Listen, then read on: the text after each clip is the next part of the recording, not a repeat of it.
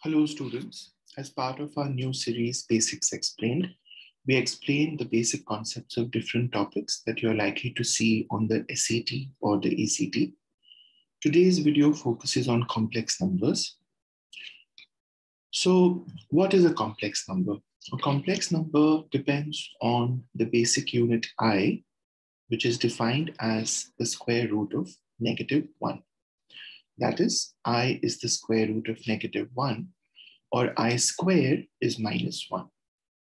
This is the basic unit of a complex number, since in real numbers, the square root of negative numbers are not allowed. Now, the first thing that we need to understand is the powers of i. We know that i is simply i, i to the power 1 is i. i squared is negative 1, that's from the definition of i i cube will be i squared into i, which is minus 1 into i, which is minus i.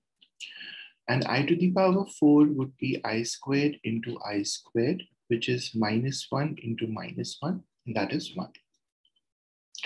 Now, if you look at i to the power 5, that will simply be i to the power 4 into i, which is 1 into i, and that is i i to the power 6 is i to the power 4 into i squared, which is 1 into minus 1, and that's just minus 1.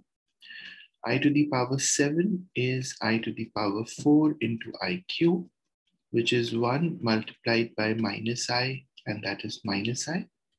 And i to the power 8 is i to the power 4 the whole squared, which is just 1. and if you observe, i to the power 5 was i to the power 1. i to the power 6 is i squared. i to the power 7 is i cubed. And i to the power 8 is i to the power 4. So we see a repetition of powers of i after every fourth power. So it's a cycle, which means that I can find any power of i if I simply look at the cycle of 4 and if I divide the power by 4 and look at the remainder. So let's see how that works. Let's say I have i to the power 2, 6, excuse me, i to the power 2, 6, 7, 5. Now, divisibility by 4 is checked with the last two digits of a number.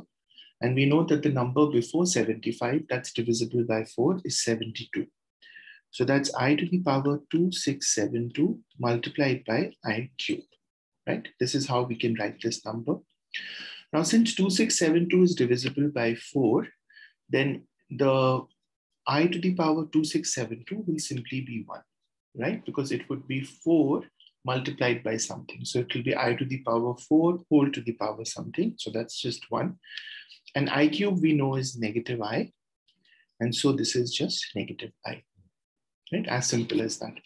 Let's try i to the power 71,222 i to the power 71,222. I look at the last two digits for divisibility by 4. We know that the number divisible by 4 before 22 is 20. So I write this as i to the power 71,220 into i squared, right?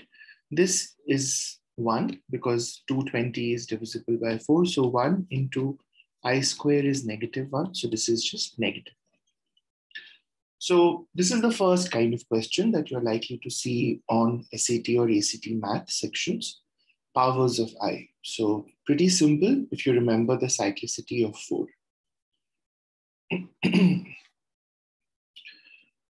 okay, let's now define a complex number. Basically, if we have real numbers a and b, the expression a plus ib, where i is the imaginary unit, is called a complex number. Here, A is the real part and B is called the imaginary part of the complex number. Now, a couple of things to remember. If I have two complex numbers, A plus BI and C plus DI, and I know that they are equal, then the real parts, A and C, have to be equal, and the imaginary parts, B and D, have to be equal. So both the real and the imaginary parts have to be equal respectively for the complex numbers to be equal. Now, let's look at addition and subtraction of complex numbers. When we add two complex numbers, we simply add the real parts, A and C. and the imaginary parts b and d, right? Similarly, when we subtract, we subtract the real parts separately and the imaginary parts separately. So then if I have to calculate the sum of these two complex numbers, it would simply be 6 plus 7i plus minus 3 plus 2i. 6 minus 3 is 3 and 7 plus 2 is 9i. So my answer is 3 plus 9i. If I have to calculate the difference, 6 plus 7i minus minus 3 plus 2i. 6 minus of minus 3 is 6 plus 3, which is 9. And 7 minus 2 is 5, so 9 plus 5i. So as simple as that. If you have to add or subtract two complex numbers, you add or subtract their real parts and their imaginary parts respectively. okay, how does multiplication and division work? So let's say I have to multiply 2 plus 3i with 3 minus 7i. Then I'll just open the brackets. 2 into 3 is 6. 2 into minus 7i is minus 14i. Um, 3 into 3i is uh, plus 9i and minus 21i squared, right? Now I know that i squared is negative 1 so minus 21i squared would be minus 21 into negative 1, which is plus 21. So this minus 21i squared is basically plus 21. So I have 21 plus 6, which is 27. And I have minus 14 plus 9, which is minus 5i. And that's my solution. So when I multiply two complex numbers, I would notice that obviously there would be a real part and an imaginary part in the solution. But the fourth term of the multiplication, which has i squared, will convert back into a real number because i squared is negative 1.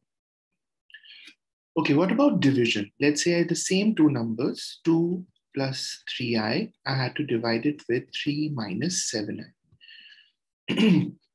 what I'll do is I'll take the complement of the denominator. The complement meaning the complex number with the sign of the imaginary part reversed. So if I have a plus bi, its complement will be a minus bi. So for 3 minus 7i, the complement would be 3 plus 7i. So I'll take the complement of the denominator and multiply the numerator and the denominator with the complement. Why I do that, I'll explain. Now we'll proceed. So 2 plus 3i has to be multiplied by 3 plus 7i. So we'll just proceed with the concept of multiplication. 2 into 3, 6. 2 into 7 plus 14i. 3 into 3 plus 9i plus 21i squared, which will become minus 21 as we know.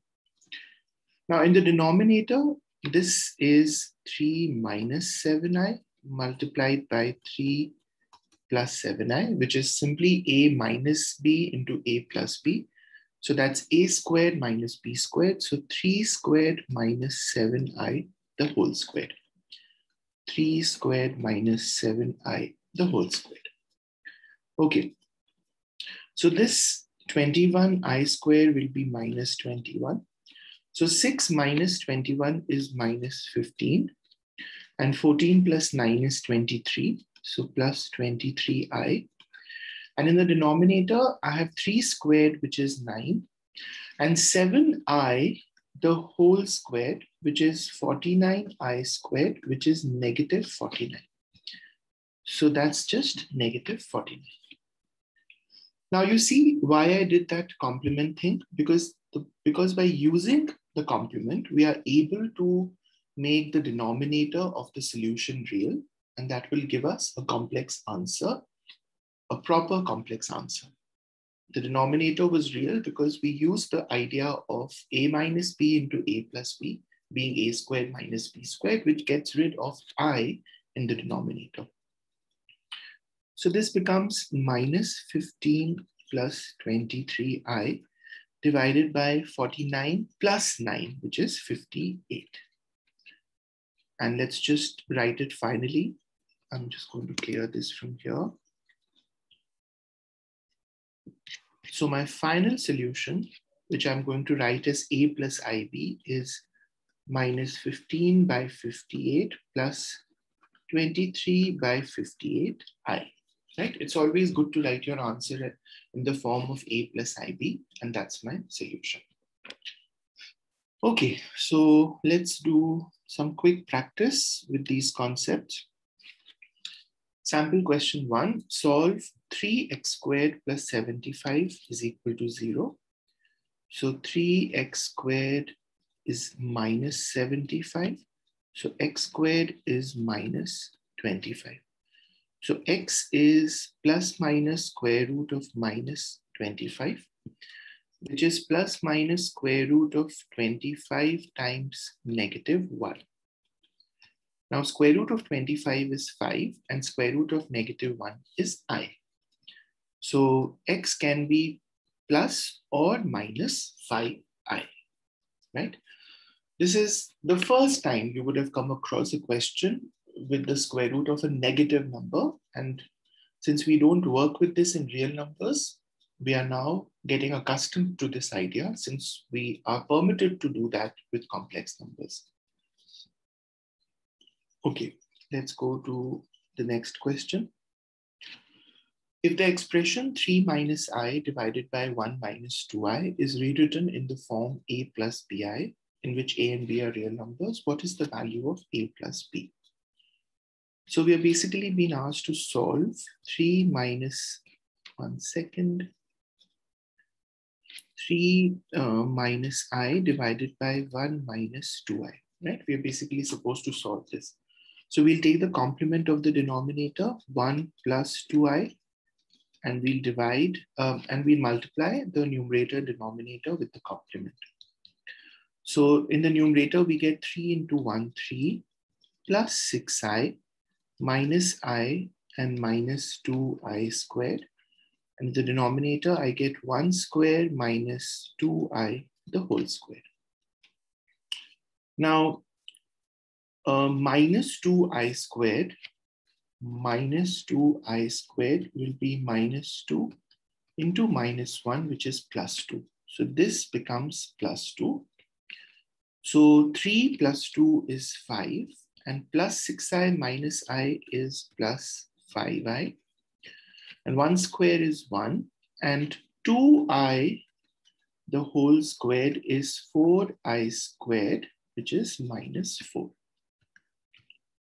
So that becomes 5 plus 5i divided by 1 plus 4, which is 5, which is 1 plus i, right? Because 5 by 5 is 1 and 5i by 5 is i. So then my solution is 1 plus i, and that has been given as a plus bi. So if I compare the real parts, a is 1. And if I compare the imaginary parts, b is also 1. So a plus b is 2. That is the solution. So this was the basics of complex numbers. If you found this video useful, please hit like and subscribe to the channel. Let me know what other concepts you'd like me to discuss in this series, and I'll try and upload them. I'll see you in a new video soon. Take care. Bye-bye.